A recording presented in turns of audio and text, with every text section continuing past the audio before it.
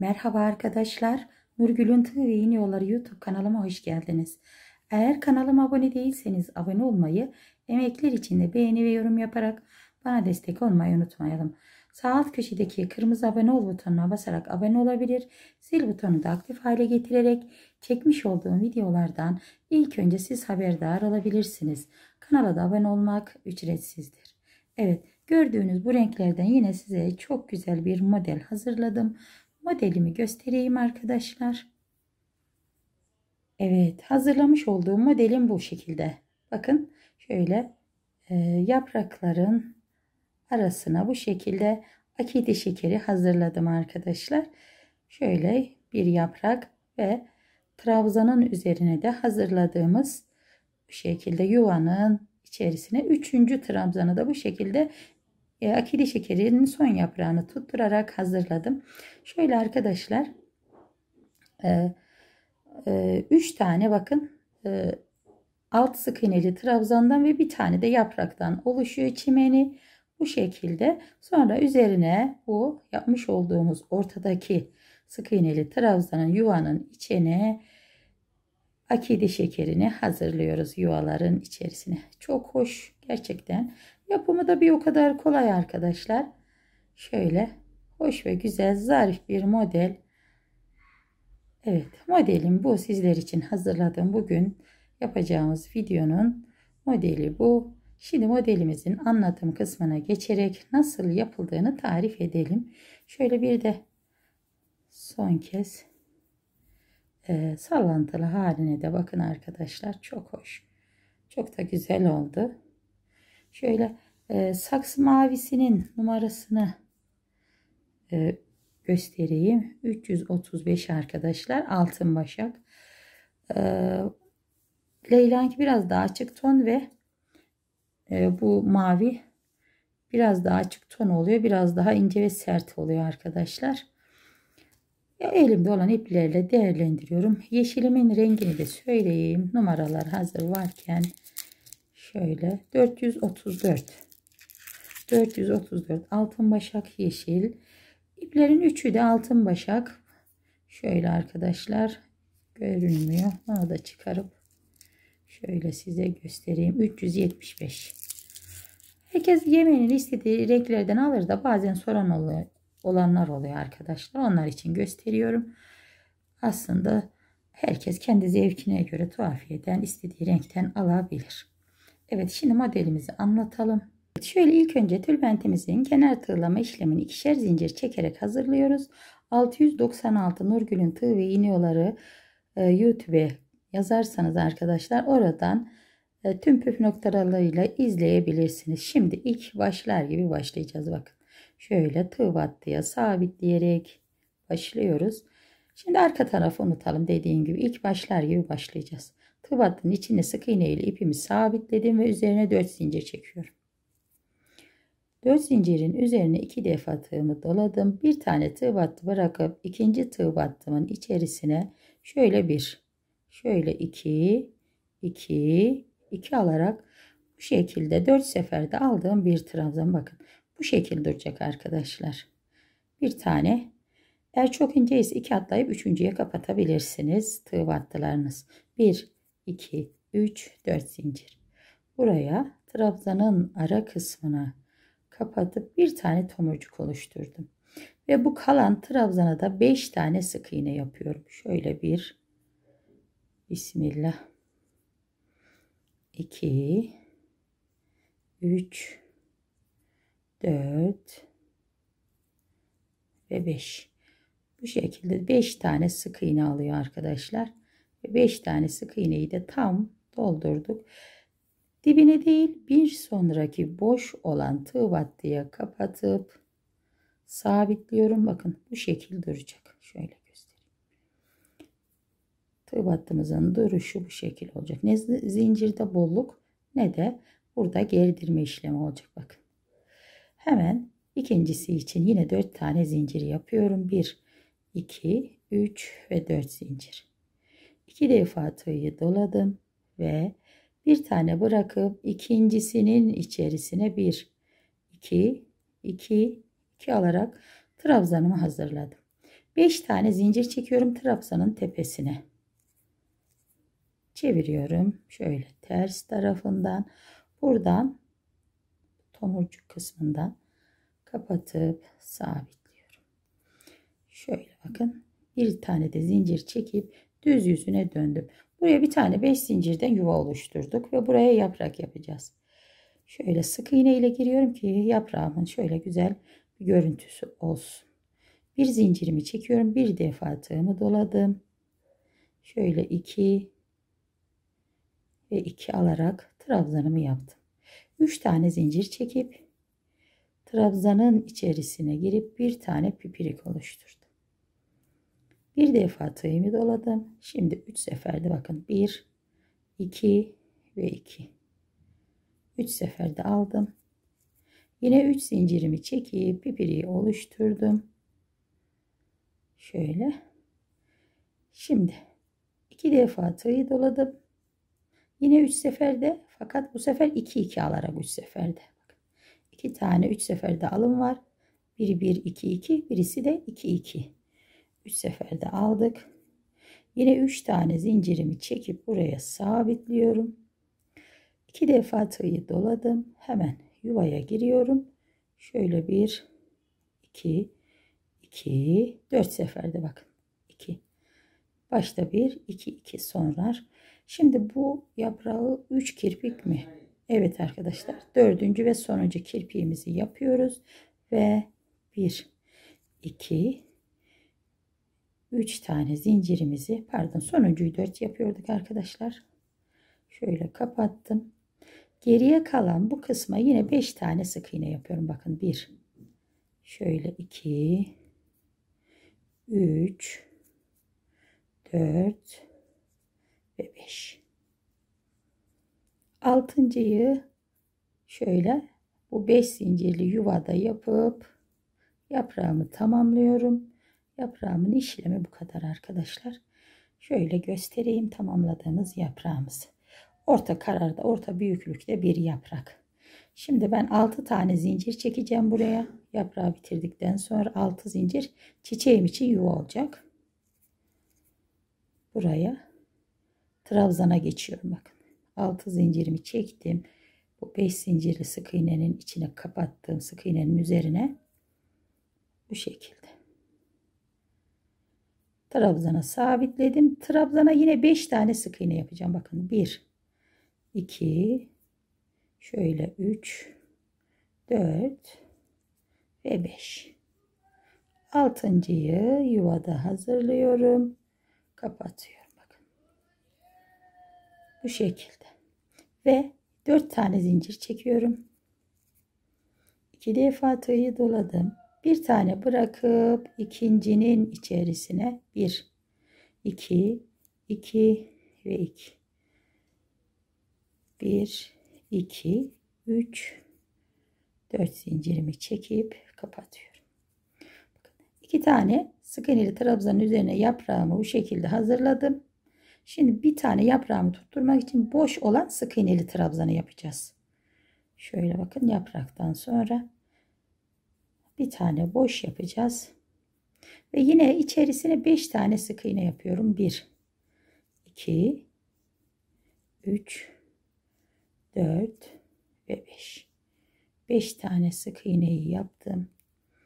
Hemen diğerine 6. sık iğneyi kapatıp şöyle sökülmesin diye de iki tane zinciri çektim. Şöyle arkadaşlar. Çimeni bu kadar. Böyle yapraklardan oluşacak. Yaprağı Çimeni bu şekilde devam edecek. Şimdi aynı şekilde şu iki yaprağın üzerine e, şey iki sık iğnenin üzerine yaprak kurulup bir tane boş yapılacak. Bu şekilde devam edilecek çimeni. Şimdi biz çiçeğimizin yapılışına geçelim arkadaşlar. Evet şöyle kenarda yapmış olduğumuz bakın altı zincirli yuvanın içine sık iğne ile ipimi buraya sabitliyorum. İki tane zincir çekiyorum bir defa tığı doladım. Hemen yuvanın içine girip 2 2 olarak trabzan yapıyorum. Bir defa tığı doladım. Şöyle 2 şöyle 2 3 Şöyle 2 ve 2 4 yuvanın içine giriyorum 2 ve 2 5 7 tane zincir çekiyorum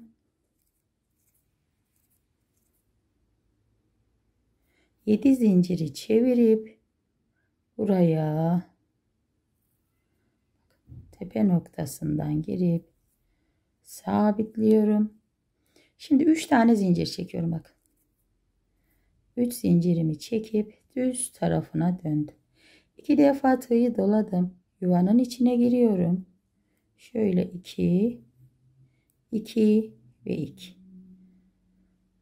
Bu e, akide şekerlerimiz için yuva olacak. Şöyle bir zincir çekip şu bu yaprağın arkadaşlar iç kısmına şu dört zincirli yuvanın içine diyecektim.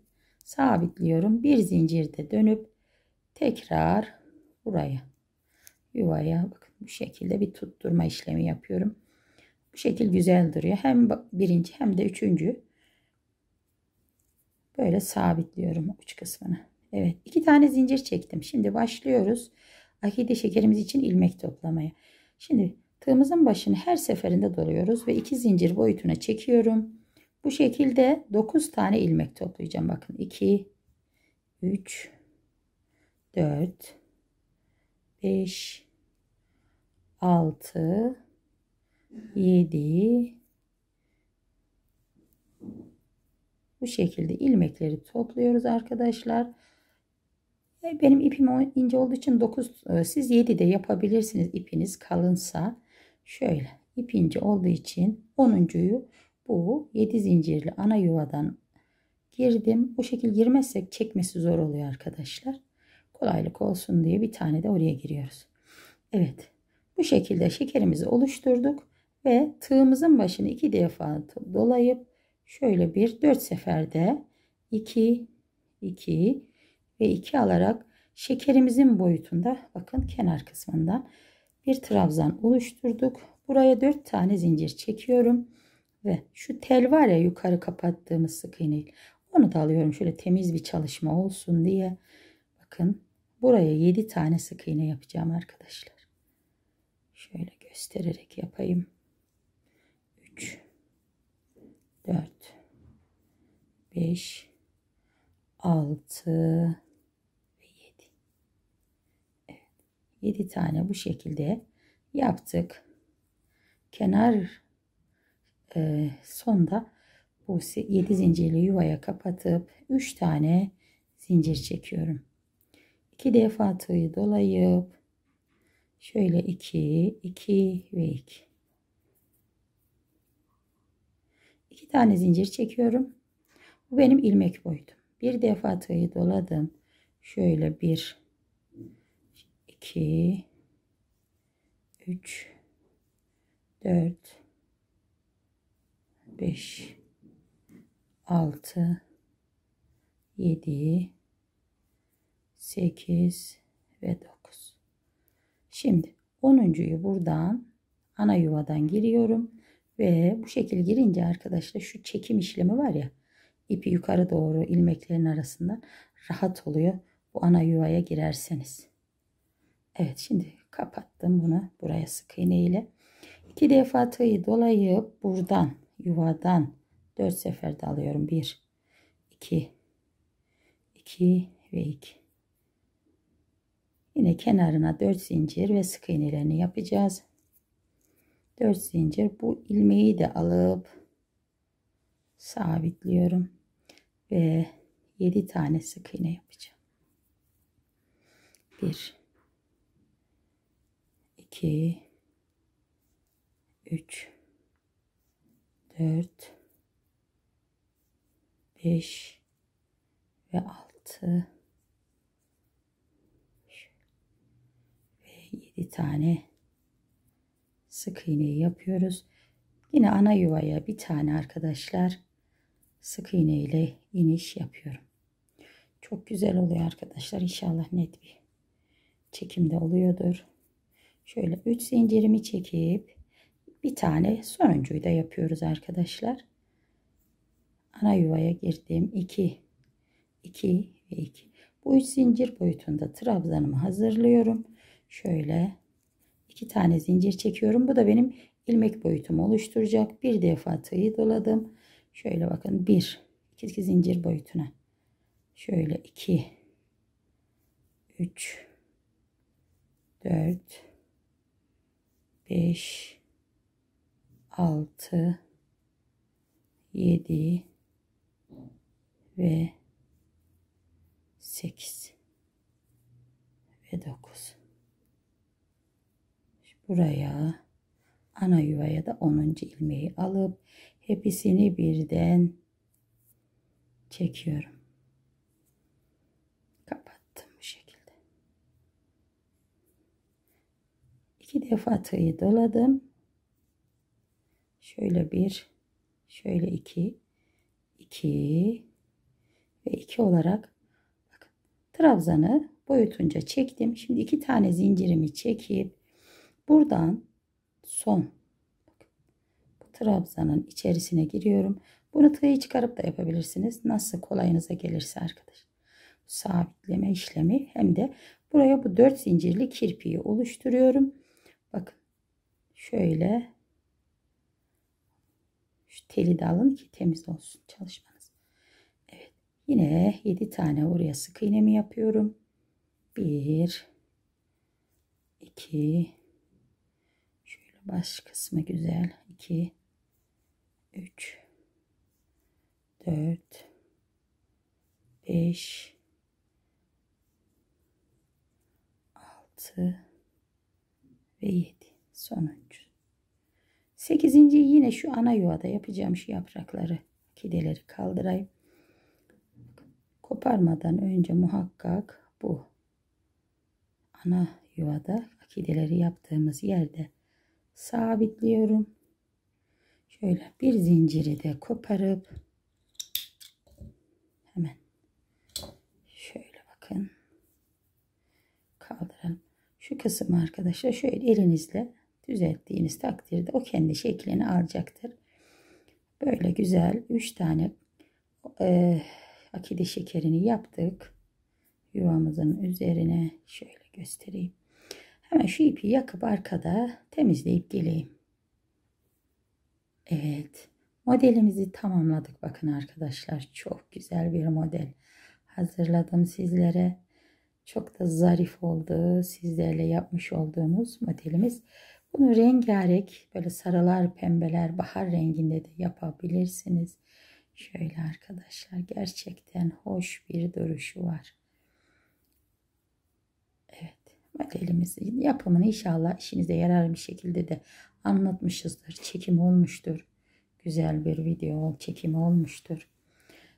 Emekler için beğeni, yorum yaparak destek olursanız sevinirim. Şöyle. Allah'a emanet olun arkadaşlar. Hoşçakalın.